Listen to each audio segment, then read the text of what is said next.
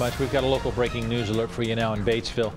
Both the middle and the intermediate schools are on lockdown because of a manhunt. Police were trying to serve a warrant on a suspect who then fled on foot near the schools.